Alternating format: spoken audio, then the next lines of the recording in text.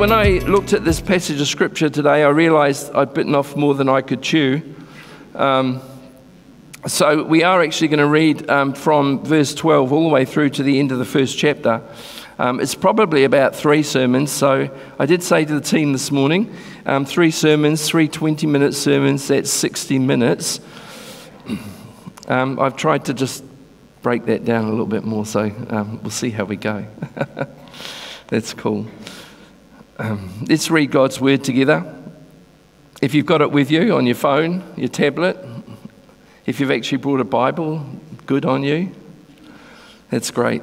But let's read together. Philippians chapter 1, starting at verse 12.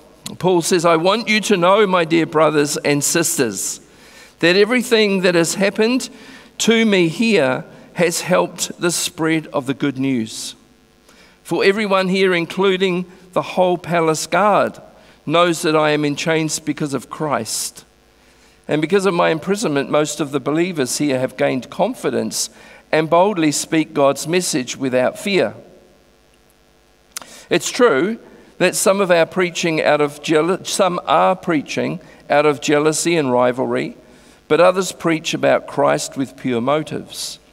They preach because they love me, for they know I have been appointed to defend the good news. Those others do not have pure motives as they preach about Christ. For they preach with selfish ambition and not sincerely intending to make my chains more painful to me. But that doesn't matter. Whether their motives are false or genuine, the message about Christ is being preached either way. So I rejoice, and I will continue to rejoice. For I know that as you pray for me, and as the Spirit of Jesus Christ helps me, this will lead to my deliverance. Remember, Paul's in prison, in chains.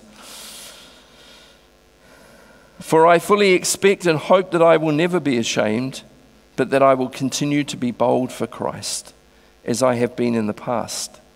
And I trust that my life will bring honor to Christ, whether I live or die. For to me, living means living for Christ and dying is even better. But if I live, I can do more fruitful work for Christ. So I really don't know which is better. I'm torn between two desires. I long to go and be with Christ, which would be far better for me, but for your sakes, it is better that I continue to live. Knowing this, I am convinced that I will remain alive so I can continue to help all of you grow and experience the joy of your faith. And when I come to you again, you will have even more reason to take pride in Christ Jesus because of what he is doing through me. Above all, you must live as citizens of heaven, conducting yourselves in a manner worthy of the good news of Christ. Then, whether I come and see you again or only hear about you, I will know that you are standing together with one spirit and one purpose fighting together for the faith, which is the good news. Don't be intimidated in any way by your enemies. This will be a sign to them that they are going to be destroyed, but that you are going to be saved, even by God Himself. For you have been given not only the privilege of trusting in Christ, but also the privilege of suffering for Him. We are in this struggle together. You have seen my struggle in the past, and you know that I am still in the midst of it.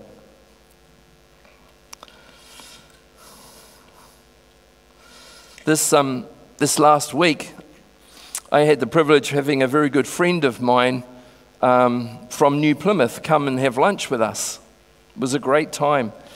He was uh, one of the guys in my 4x4 in the men's group that I was part of down there in New Plymouth when I was there. And so it was great um, to have him come. We, we, we used to have breakfast every week um, at McDonald's in our 4x4. So we'd turn up at McDonald's, have a time together.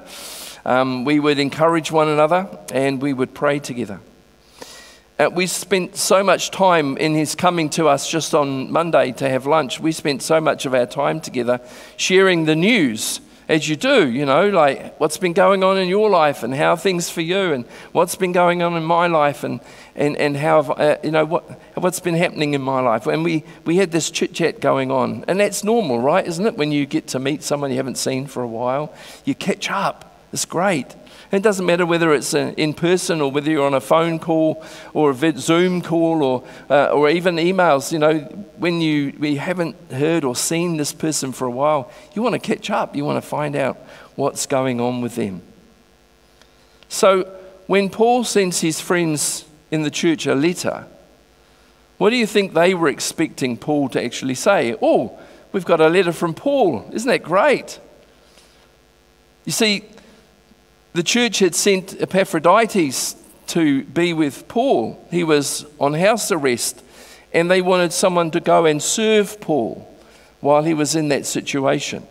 And so they had sent Epaphroditus with a gift from the church to help Paul's ministry and to help him in his time in, in, uh, under arrest. And so when, they, when Epaphroditus came back to the church with a letter from Paul, they were going to want to know, Paul, how's it been going? You know, uh, have you been well? What's it like for you, you know, under house arrest? How are you coping with that? What's going on for you? But Paul doesn't do any of that. He doesn't have time for that, for this little chit chat that you might have of catching up with each other. The only thing that Paul wants him to know is that in his suffering, in his time in prison, in his time under house arrest, God has given him so many opportunities to advance the gospel. And after giving thanks to God in the beginning of his uh, letter to them and praying for them, his main concern is this is what he wants them to know. It's almost like Paul only has so much paper to write on, so much time to give to writing this letter, and so much ink that he's got to get to the main point quickly. He wants to pass on to the church the things they need to know. And so he starts. He says, I want you to know. He says, this, this is the most important thing for you to know. Now, you know, you've been a church together, you've been Christians for a while, and I want you to know that your citizenship is in heaven. There's just this one thing you need to do while you're here on this earth, and that is to serve Christ and to make him known. To serve Christ and to make him known. You now have this new purpose in life. It's not to serve self, but to know and to live for Christ and to tell others about Him. And in this first section of this passage, we discover three things. That if we are devoted to the gospel, that if we're all sold out for God, then we will experience some kind of suffering for the sake of the gospel. Secondly, that God works through the suffering to advance the kingdom of God.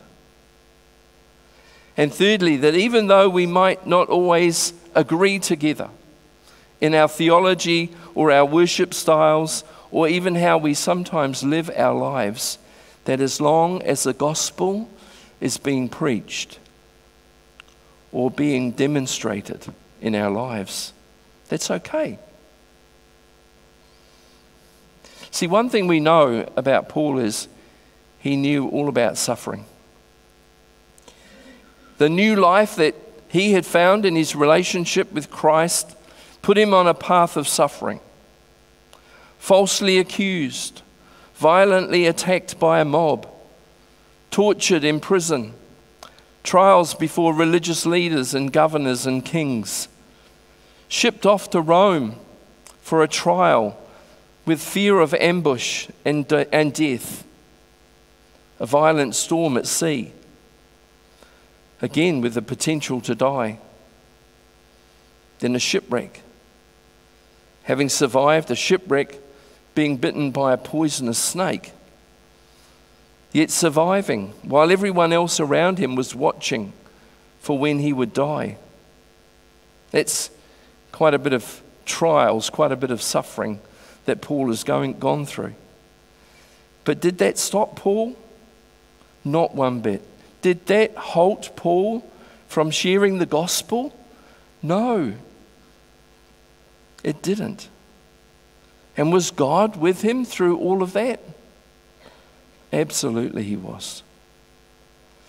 See, Paul sees everything that happens to him, not just as an attack from the enemy, which it was, because the enemy doesn't want the gospel to be shared throughout the world. But rather, Paul saw this as God's way of providing him with others around him who needed to hear the message of Jesus, who needed to be set free, who needed to be saved.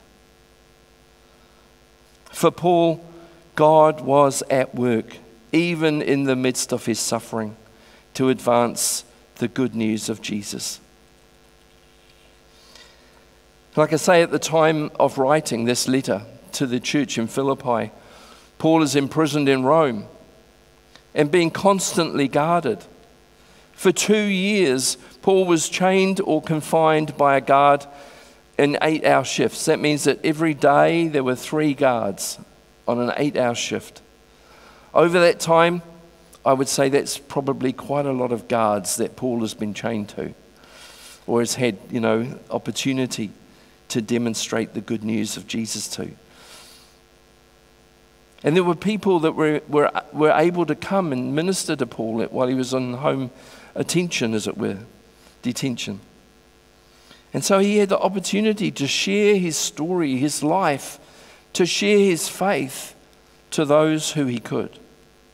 He talks about it. Even the prison guards, hundreds of them, he has had the opportunity to preach the gospel to. Out of his pain came the opportunity for the gospel to change other people's lives. It's the same for you and I. You know, we go through pain, we go through suffering in, in times in our lives. But God wants to use those times. God wants to use those moments, those times when God has walked with you through those things that you've gone through.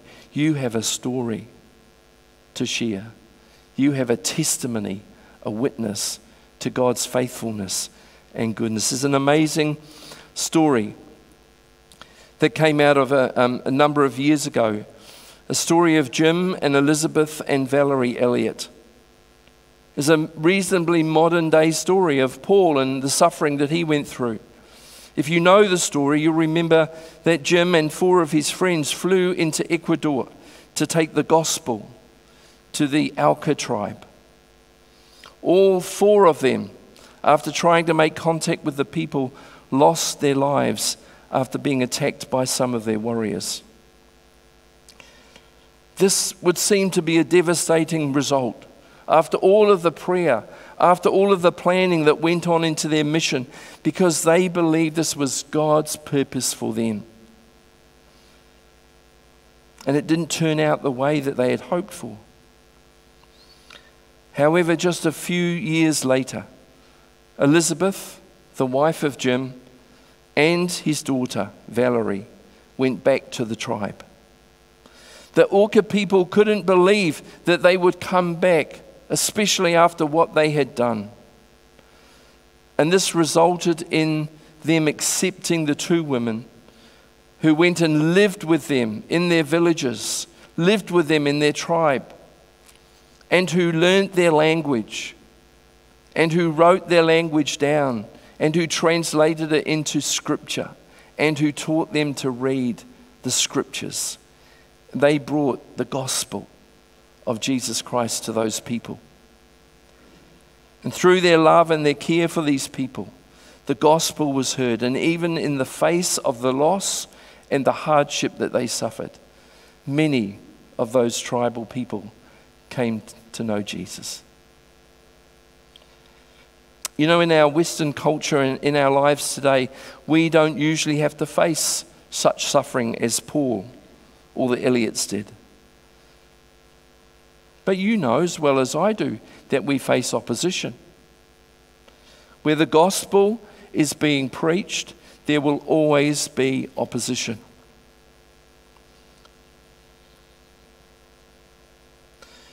The reason for that is because we have an enemy who doesn't want the gospel to be preached.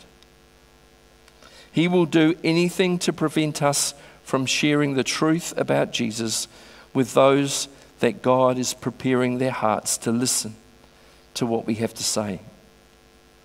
Paul says, I want you to know, dear brothers and sisters, that everything that happens to you is a means of helping you share the gospel.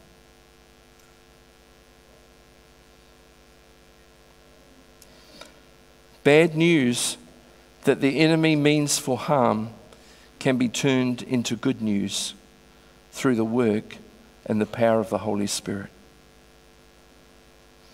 I remember sitting in an office with three medical specialists, two senior nurses, and a surgeon when they told my dad that he had colon cancer. There were two options. He could have an operation, which at his age, they couldn't say he would pull through it.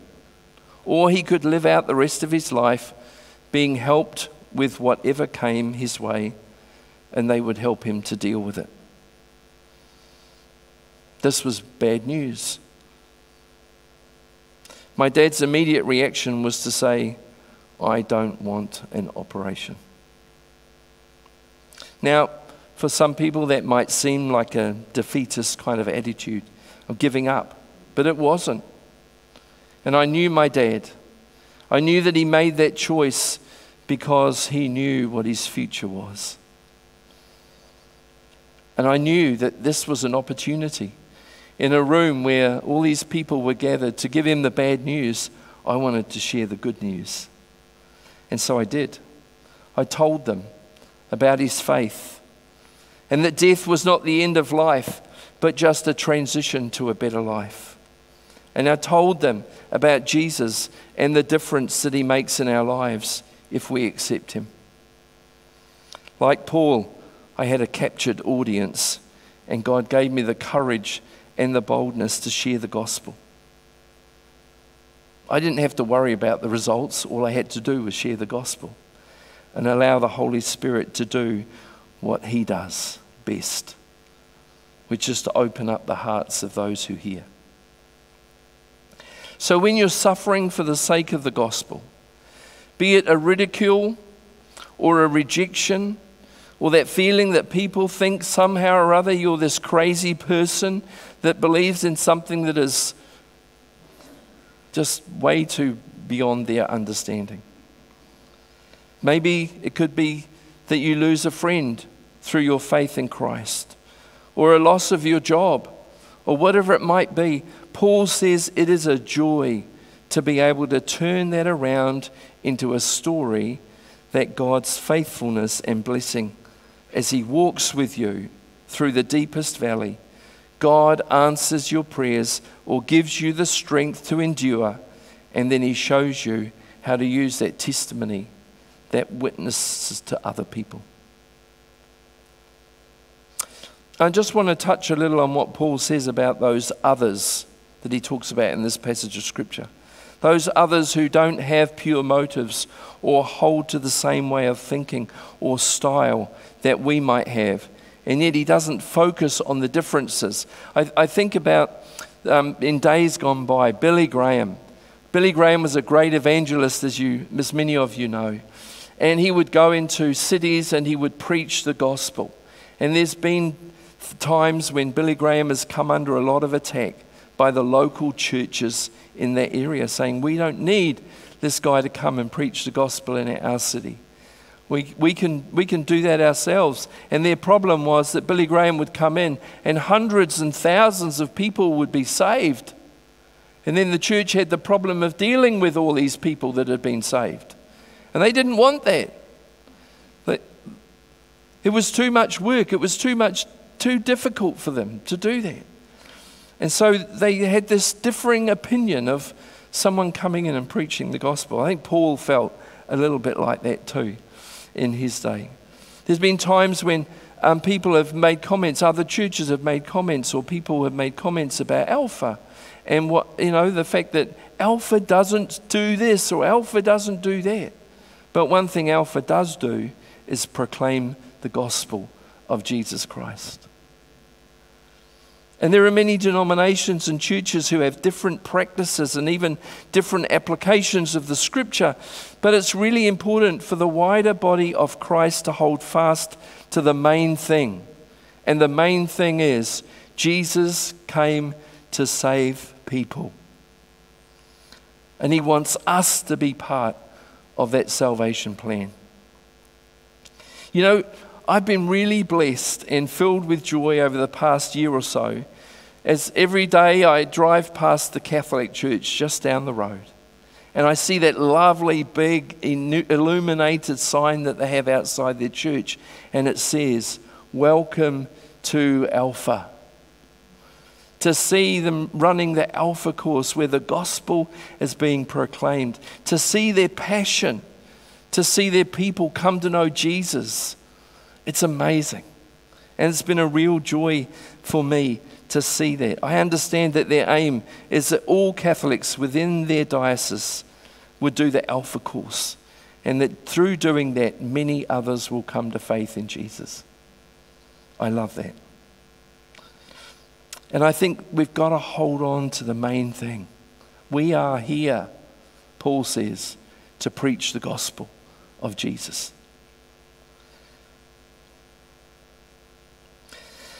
Secondly, uh, for Paul, suffering and prayer go hand in hand. In his letter to the church at Ephesus, when he's explaining about his suffering in prison, he says this Pray in the Spirit at all times and on every occasion. Stay alert and be persistent in your prayers for all believers everywhere. That's in Ephesians 6:18. And in our passage here this morning, Paul says, For I know that as you pray for me, the Spirit of Jesus Christ helps me, and this will lead to my deliverance. Now, you think about what Paul was actually thinking there, this will lead to my deliverance. He was maybe potentially thinking about two things that could happen to him. He either lives by the grace of God and the prayers of the people, or he dies at the hands of the authorities and is ushered into the presence of Jesus. For Paul, whatever happens, he's trusting in God for his future, knowing that through the prayers of others, God will be faithful to him. Paul fully expects, as the people pray for him, that there will be a miracle that results in him staying alive because Paul sees that as the greater answer to their prayers, as he will then be able to continue the work that God's called him to do and to encourage and support the churches as well as to advance the gospel. However, should that not work out for him, his departure, he believes, is what he calls an even better solution. Paul holds on to the hope that God always knows best. To be able to be in such a close relationship with Jesus and understand what Paul is meaning when he says, For me, living means living for Christ, and dying is even better. And I'm torn between these two desires. I either live my life for Christ or I go to be with Him. Now, that's a mindset that can only be grasped and sustained through faith and through trust that comes as a result of faithful prayers. And Paul asks for prayer from his church because he knows that it's prayer that sustains and enables him.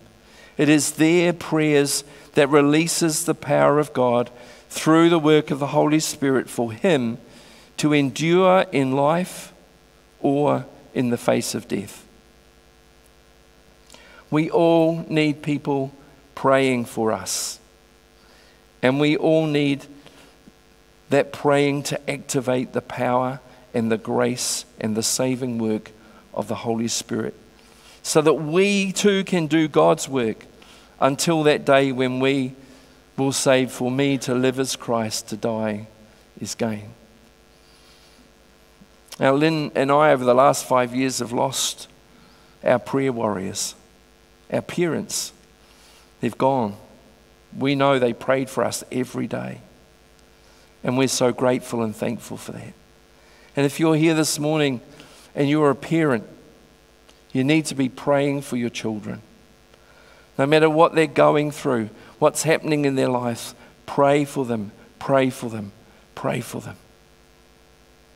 As Paul says, prayer makes the difference. And I remember when, you know, that prayer does bring miracles. We know that. We've been praying for that this morning, that God would bring a miracle, give us a miracle. I remember when I was in so much pain with back injury that it was almost unbearable. And I had the church praying for me, I had our parents praying for me. And I felt that prayer. And God gave me a word as the Holy Spirit spoke to the lady that was uh, my physiotherapist. and I was going to see her because of my bad back. And she gave me a word that I realized was God speaking to me. Those prayers that activated the Spirit of God to speak change into my life and into the direction of my life. God speaks to us in the midst of our suffering, in the midst of our pain, in the midst of the things that we're going through in our life. God speaks to us and it's activated through prayer. And when I became obedient to that word, then I saw the miracle of healing. Prayer is like a light switch. When it's turned on, it allows the power to flow to the light. It activates God's power to bring people to salvation. And if you're trusting God to save a family member, I want to I say to you this morning keep praying for them. The church in Philippi never stopped praying that people would come to know Jesus through Paul's ministry. So pray for Alpha as they gather on a Monday and a Wednesday. Pray for them that God would activate the Spirit of God to save people. Pray for the toy library. Pray that as people come in through the doors of the toy library, they will sense the presence of God. There'll be something there that will turn them around and change their lives forever. Pray for the group that meets on Thursday, the crafters group, as people come into this place and as they journey with them and as they fellowship together and as they have opportunities to share their story with them. Pray that God, by His Holy Spirit, will speak into the lives of those who come. For all of our ministries here in this church, we need to be in prayer because that's where God is at work amongst us.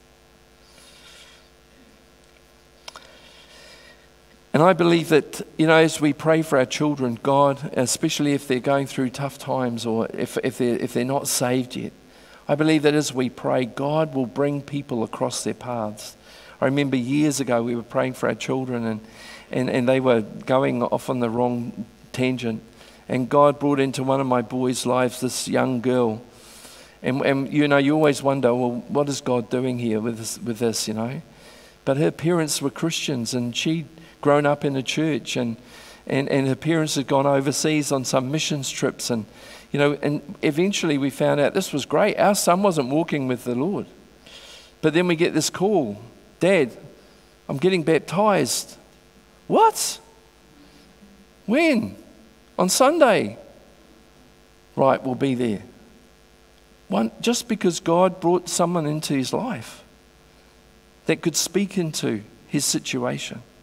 God will do that. We need to encourage, and we need through prayer um, to be just lifting them up, that God would bring someone alongside them to encourage them. We must continue to pray, to believe that the Holy Spirit will work in power so that we can be testimonies and witnesses of His goodness. we must expect that the Spirit will work in surprising ways, meeting our individual needs and that of others. In His own unique way, God works. There is no one right way with God because He works in mysterious ways, His wonders to perform. You know, unfortunately, I think as a, as a church, not as a church, Franklin Baptist, I mean, as a church, a wider body, we've been very quick to judge what we see the Spirit of God doing in other places. Signs and wonders, miracles should be welcomed, even expected, not explained away. The gift of tongues should not be something weird or strange. That's what I thought it was. You know, when I first heard it, I thought, this is weird. This is strange. And when it happened to me, it was even stranger. But tongues is not something that's weird or strange, it's something we should cherish because it's our language of speaking to God. The manifestations of the Spirit as it comes, you know, whether it's in tears or in joy whether it's in a shaking experience or a sense of heat that some people feel when the Spirit of God comes on them. Whether it's the laughter that comes through the, knowing the joy of the Spirit of God in our life, or however it comes, we should just be seeing, we should just be really pleased and excited when we see God at work through His Spirit amongst us. After all, the Bible talks of burning bushes speaking to people. It talks of donkeys speaking to people. It talks of multiplying food, which gave them the ability to preach the gospel, and turning water into wine. Those things were different. They were unusual, but they were it was the Spirit of God at work so that the gospel could be shared. I love the story in Acts 3 111, where we see Peter and John at the gates of the temple. And we, we see them reaching out and touching someone's life and it being transformed. And then, Paul, and then um, Peter says in, in chapter 4, verse 4, in Acts chapter 4, verse 4, it says, But many of the people who heard their message because Peter preached the gospel as a result of that miracle. Many of the people who heard their message believed it. So the number of believers now totaled 5,000 men plus all the women and the children. The power of a story is significant. What's your story? What is your story? What has God given to you to share with other people that the gospel might be spread abroad? You have a story. Use that story. When you come into contact with people, day after day, God has a story He wants you to share because it's your story that's going to touch the hearts of those people that He brings across your path.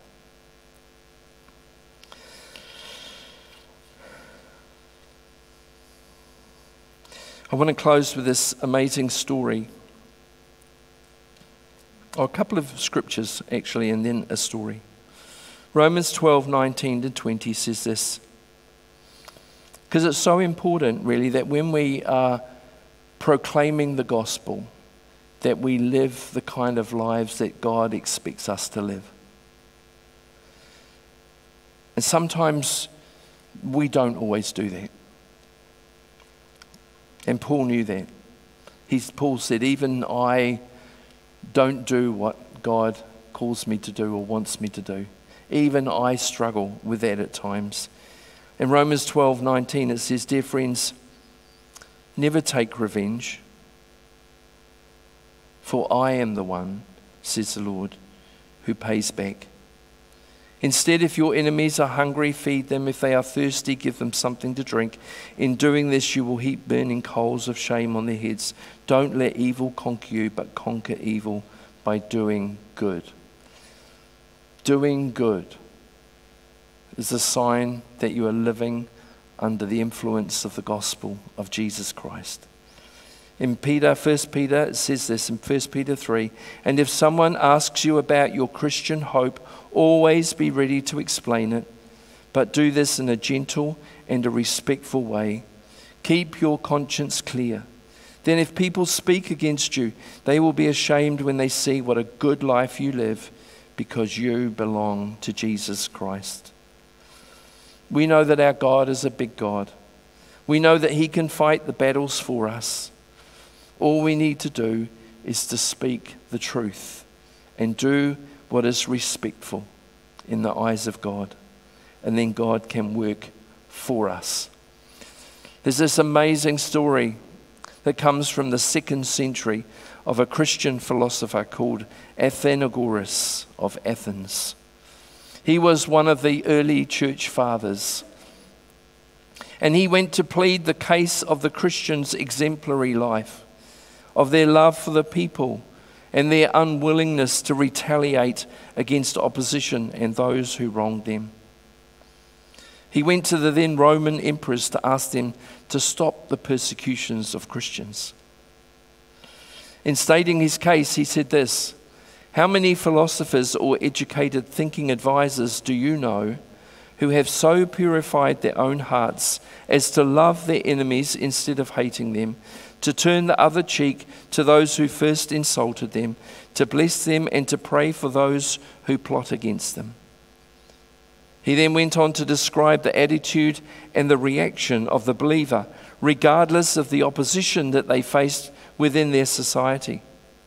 With us, he said, on the contrary, you will find unlettered people, tradesmen, and old women who, though unable to express in words the advantages of our teaching, they demonstrate by the acts, their acts, the value of their principles.